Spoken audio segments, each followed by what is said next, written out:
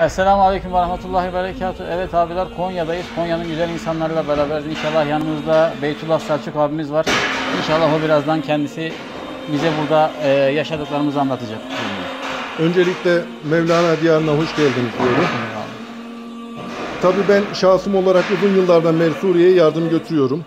Sizde de e, vesile oldu bu yardım kampanyası. Onunla ilgili tanışmış olduk. Allah nasip ederse bizim burada Türkmen Dağı'ndaki kardeşlerimize ikramlarımız olacak inşallah. Bu ikramları sizlerin vasıtasıyla onlara ileteceğiz inşallah. Rabbim Konya'daki tüm hayırseverlerden razı olsun. Arttırarak bu yardımlarını devam ettirmelerini talep ediyoruz. Çünkü malumunuz üzere son günlerde İdlib bölgesinde Kefere'nin çok feci derecede saldırısı var. Bizim de tarafımızın belli olması lazım. Tarafımız her zaman olduğu gibi Müslümanlardan taraf.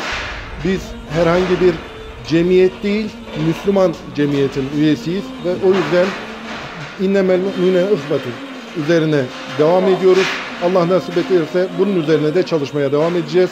Şu anda kardeşlerin burada yüklemeye e, çalıştığı tırda bizim elektrik süpürgesinden, mutfak malzemesinden, masadan, çalışma sandalyesinden, semaverinden, okul sıralarından, tahtalarından, dolabından, televizyondan, buzdolabına kadar, çamaşır makinesine kadar ve yüzlerce ranza ve yatağa kadar biz komple bir şey yaptık, su dahil. Ortalama 110 bin lira civarında bizim burada bir yardımımız oldu. Allah nasip ederse inşallah bunu da sizler ulaştıracaksınız.